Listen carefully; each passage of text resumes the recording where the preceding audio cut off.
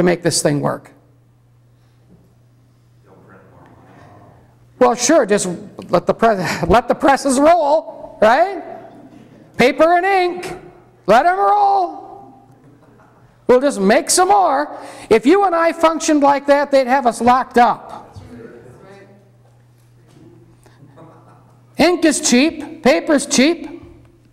Costs the same amount of money to print a $100 bills it does a one. Just different plates. I watched those things roll off the press. They're making $100 bills at one time. Flying through their big sheets. I was over at the Bureau of Engraving, standing up there on that catwalk. They take you around there where you can watch them work. These huge presses and that money just like a blur, as fast as you can see. $100 bills flying off there all day long. I don't know if they have a second and third shift. They might. Now they must. Although a lot of what they do is just computer impulses. You just make an entry. There it is, another trillion. Just like that. Is it like magic? See, Obama can do that. See, he's got the magic. He's the one. He's the, they call him the one. He's the one who will speak and the oceans will recede. Right? That's what he said. He said it with his own mouth. Well, he promised you change. And that's all you're going to have left after he takes your dollars, just the change. That's all that's going to be left. And you've got to buy into this system or you'll be fined $3,800 if you don't have insurance and you cut your arm and you go to the emergency room and they stitch you up and find out you don't have insurance, you get fined $3,800 for not having the insurance, plus you got to pay the other. That really helps people, doesn't it? Situations are so bad right now. There are suburbs, Chicago suburbs, their houses, big houses selling for $1 and nobody wants them. Because they don't want to pay the tax or the upkeep. They can't, they don't have the money. Everybody's broke. They say the market is up, up, up. People are still walking the streets with their heads hanging down, down, down. No work. If they can find work, it doesn't pay enough. It is really a deplorable situation. And there is a curse on this nation for all of its sodomy and for all of its baby killing and for all of these ridiculous things that are passing. In fact, when Nancy, pardon me, Nasty Pelosi was up there making that speech as the Speaker of the House, remember when they put they installed her? She had a whip in her hand, a black bullwhip. And she held it in her hand over her head and said, I am now the most powerful woman in the United States. Hey, you see a woman lift up a bullwhip and say that, get out of the way. If you see a man do it, get out of the way too. But I'm just saying, it's just something really unladylike. You understand what I'm saying? Unladylike to hold a bullwhip up and say, listen to me, I, this is power. Listen to me roar. Hmm? And so while she was up there presenting this health care package, and people were held off, the crowd of protesters was off in a distance, one man had the presence of mind to bring a bullhorn. And when she started to speak, he put the bullhorn up and said, Nazi Pelosi. You will burn in hell for this. And it just resonated through the whole place. Ah, we need to really pray. Turn with me while I have a few minutes left to the book of Luke,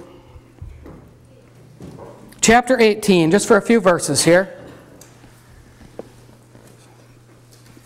Folks, we need to pray. We need to pray. Behold, he prayeth. God was speaking when he said, when that was said. It was God speaking. Behold, he prayeth. God sees your prayers. God hears your prayers. Not one is wasted. You call upon him, all heaven opens up. He's listening. Behold, he prayeth. And I love that, you know, the King James Bible is the only Bible in the English language that God uses, and I love the way it's structured because Well, it, it's structured by God. It doesn't say, Behold, he prays. Behold, he's prayed. Behold, he prayeth. You continue on. He, he never stops. He's praying, praying, praying, praying, praying. He prayeth. God sees his people that prayeth. Pray without ceasing. We breathe our prayers.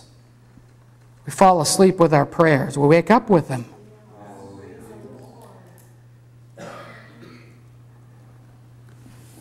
Things could be so different if we'd pray. You know, it doesn't take much to change history, really.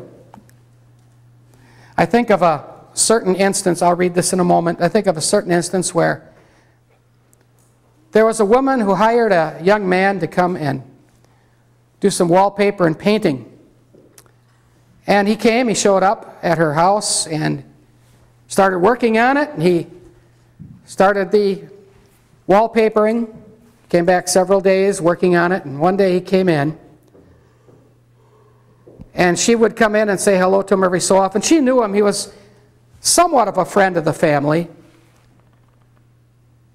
But she'd come in sometimes to talk to him a little bit. And one day, when she was about to walk in there, he had a gun with him and he took it out, put it to his head. And she ran over to him and said, What are you doing? He said, Things are not going well with me. He said, I have nothing to live for. I'm going to pull this trigger and I'm going to end it all.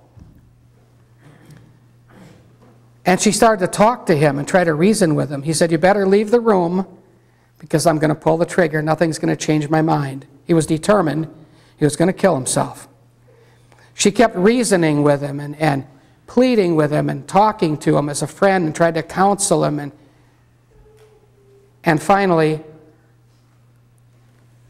he took, took the gun away. And the woman took the gun from the hands of Adolf Hitler, who almost pulled the trigger. How would that have changed history? Now, I wouldn't rejoice in anybody killing themselves. I'm only saying, how would this have changed history? There are people right now that are up to no good. When Hitler came into power, after Mein Kampf, shortly after that incident, Mein Kampf came forth. Then all of the rabble rousing in the Munich beer halls, and then the brown shirt army, then the rise to power of the chancellery in Germany. Then he became Der Fuhrer. And it wasn't long until millions upon millions upon millions upon millions of people were dying. Who knows what they're up to right now in Washington? We need to pray. It doesn't take much to change things. God knows how to do it. Because if something doesn't happen soon, it's over. Now, whatever God's will is, is fine. But no matter what, it's right to pray.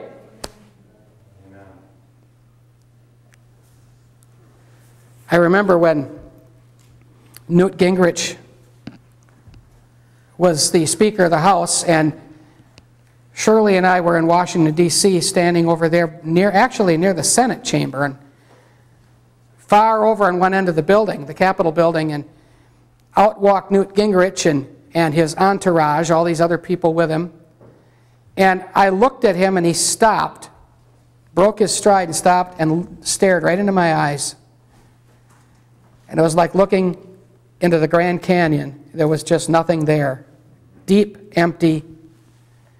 And the expression on his face I will never forget. And he locked eyes with me, and something troubled him. Something shook him up. And he quickly snapped and turned around and walked away with his little group. I don't know what he was doing near the Senate because he was the Speaker of the House. He must have had some business. But that door just whipped open, and all these people came out, and he stopped. He was in a hurry, but he stopped to look at me. And Shirley was facing away from him. She didn't have the pleasure of looking at him.